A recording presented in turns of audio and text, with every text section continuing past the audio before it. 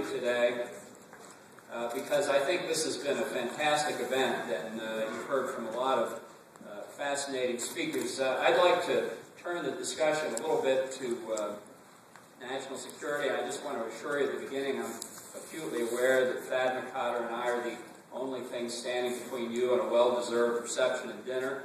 Uh, but this is a, uh, the, the, subject of national security is one that's absolutely critical as we look toward 2012. Uh, the, the, political com- commentariat likes to say that American voters don't really care about foreign policy. They don't see how it affects their lives.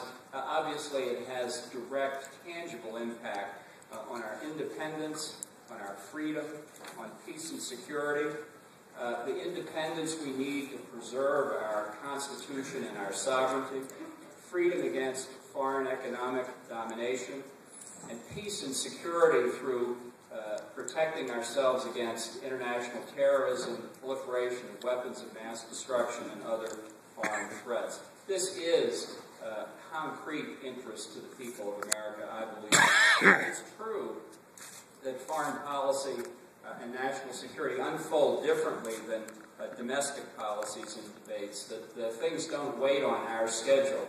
Uh, as the crises in the Middle East and Japan today, I think, show uh, very dramatically. It's like uh, Humphrey Bogart said in Casablanca, it seems that fate has taken a hand. And indeed, it has, uh, showing the problems we have with our leadership in the White House. You know, on January the 20th, 2009, when it came to national security matters, when President Obama took the oath of office, he was not qualified to be President of the United States.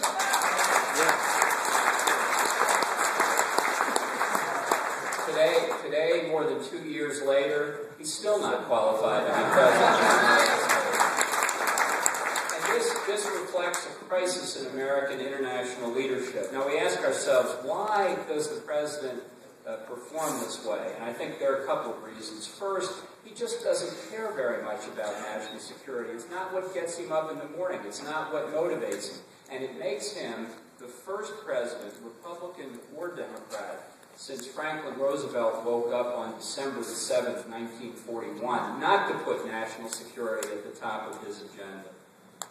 Number two, uh, he doesn't see the rest of the world as terribly threatening. We can see this going back to what he said in the 2008 campaign. He didn't want to talk about the global war on terrorism. He didn't want to talk about the threats that we face. He called Iran a tiny country, uh, as if a tiny country with a few nuclear weapons can't ruin your day. he feels comfortable uh, with the notion of America in decline, of America not taking the leading role protect its own interest. Uh, and this does mark him as a very a different kind of president. Now, in days uh, gone by, a president with those characteristics might have become an isolationist, but not this president. He is the fullest uh, example of multilateralism in operation, and we can see it today in the way he's handling uh, the crisis in uh, Libya. This is uh, a, an attitude that very gravely, uh, I think, threatens American sovereignty over the long term. Now, sovereignty uh, is a concept people debate over. A lot of people think it's kind of abstract. In the United States, we understand exactly what sovereignty is. It's not an abstraction.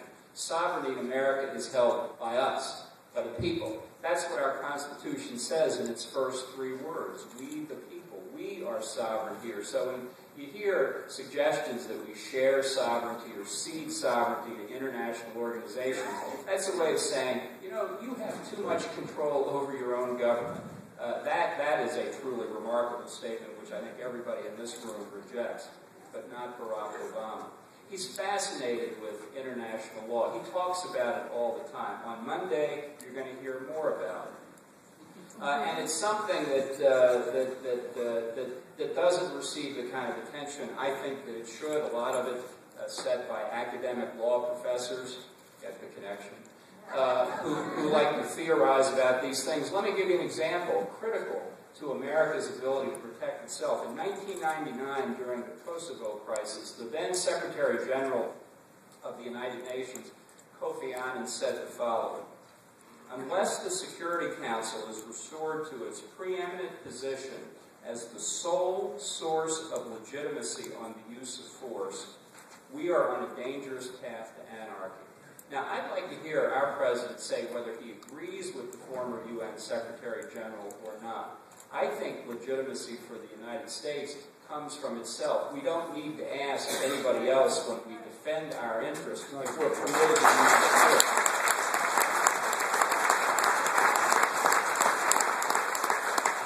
And all this talk of international law, we need a president who will say unequivocally that in secular matters, at least for Americans, there is no higher authority than the United States Constitution.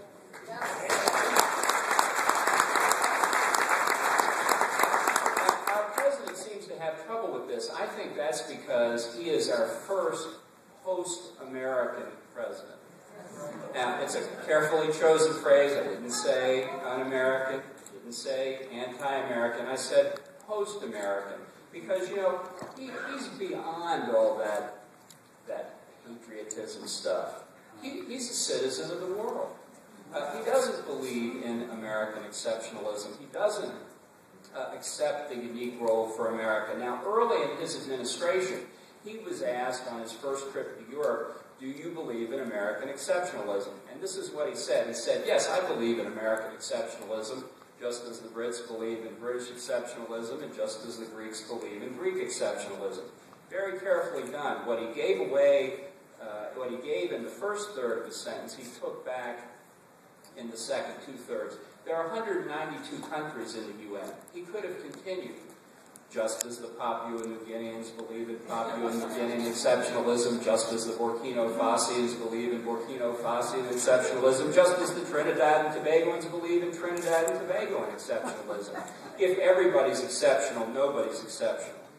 And I think uh, that is very much uh, the Obama approach. This is not the first major leader in the Democratic Party to hold this view, but it's the first major leader to become president very similar to what uh, George H.W. Bush said in 1988 about his Democratic opponent that year, Governor Michael Dukakis. Uh, Bush 41 said then, uh, My opponent sees America as another pleasant country on the United Nations roll call, somewhere between Albania and Zimbabwe. We would say the same thing about Barack Obama. Now, what should the Republican response be?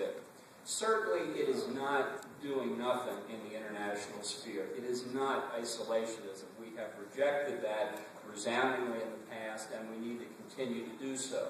But neither is it succumbing to the Woodrow Wilsonian views of the president or others in our political debate. The answer is not multilateralism. Protection and security for the United States are not going to be found in the United Nations system nor is it an endless Wilsonian crusade to make the world safe for democracy. Uh, when you look at the multilateralism and the idea of making the world safe for democracy, let's not forget Theodore Roosevelt's response to Wilson. Our Roosevelt said, first, we are to make the world safe for ourselves. And that is the policy that we should be pursuing. Uh, and on a subject I know is a sensitive one, I want to be very clear here that the way we do that is to pursue the policy of peace through strength. And that means sufficient budgetary expenditures for our military that no adversary dares to challenge us anywhere in the world.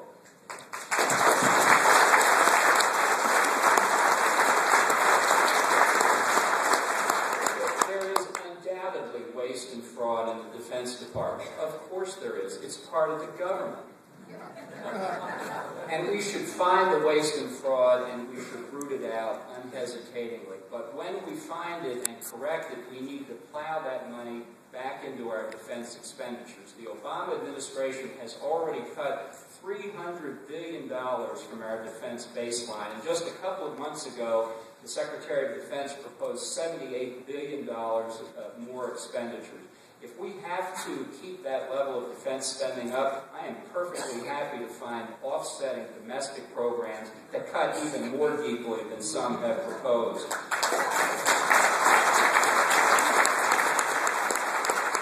A dollar well spent on defense and intelligence matters is far more important than a dollar well spent on anything else in the federal government. Period. Close quote.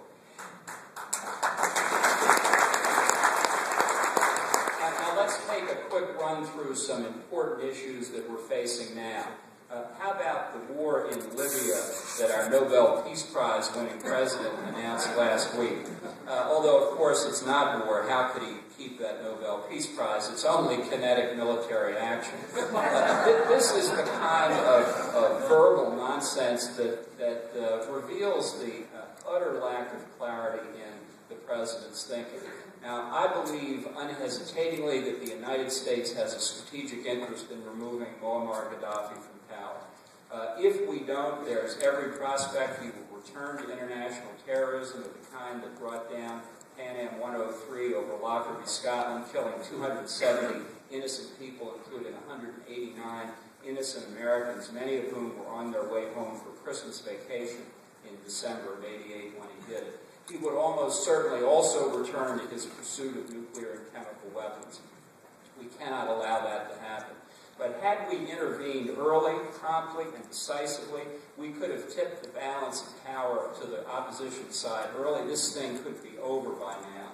Uh, his inability to understand that, I think, risks uh, a long-term involvement with no clear conclusion. And for what reason, we still don't know what his objective is protecting innocent civilians. How can you protect innocent civilians when you're not prepared to use military force to remove the thing that's the greatest threat to the, to the innocent Libyan civilians, Muammar Gaddafi?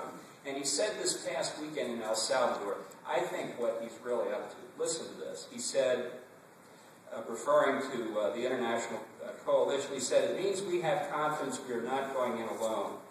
And it is our military that is being volunteered by others to carry out missions that are important not only to us but are important internationally. Our military is being volunteered by others. Who is the commander in chief here? Uh, a, a, very good question. I think the answer here going forward uh, is to do what Ronald Reagan did in 1986. Our military has a wonderful euphemism called National Command Authority. It's a legitimate military target. In Libya, Muammar Gaddafi is National Command Authority. I think that's the answer right there. But, but while Libya certainly has our attention, there's chaos in the rest of our Middle East policy as well. The president had four different positions on Hosni Mubarak before Mubarak finally left. Uh, and the idea that we're on the easy path to democracy in Egypt has already been refuted by events in just the past few days. But let's not lose sight of what the really critical issue is, and that is Iran's continued efforts to assert hegemony in the Middle East, uh, in the conflict within Islam that goes back centuries, uh, and in the struggle for power over the oil-producing regions of the Persian Gulf. This is not an abstract strategic argument. If you've been to the gasoline station recently, you can see uh, already the forecast of what would happen if Iran got complete control over those oil producing regions. A country that serves as the world's central banker of international terrorism, that is very, very close to achieving its 20 year long objective of getting deliverable nuclear weapons. We have no policy on Iran. We can't even find ways to support the opposition forces uh, to Mahmoud Ahmadinejad and the Islamic revolution. That's why the conflict that we see now in Bahrain uh, is of enormous strategic importance to the United States. If Iran can get a pro-Iranian regime in that country, it can threaten Saudi Arabia, it can threaten our other Arab allies in the Gulf, uh, and our economy will be held in complete jeopardy at Mahmoud Ahmadinejad's discretion. Moreover, the instability in the Middle East threatens to undermine uh, the, the, rock of stability we've sought for decades, which is peace between Israel and its Arab neighbors. There's every likelihood a new Egyptian government will revise the Camp David Accords, the government in Jordan could fall, and Israel's security will be threatened once again. You know, our forefathers, uh, when they came to this country, often referred to America as a city on a hill, quoting uh, scripture. Uh, and, and they referred to America as the New Jerusalem. Well, I think it's critical that the New Jerusalem not forget the Old Jerusalem when it comes under pressure.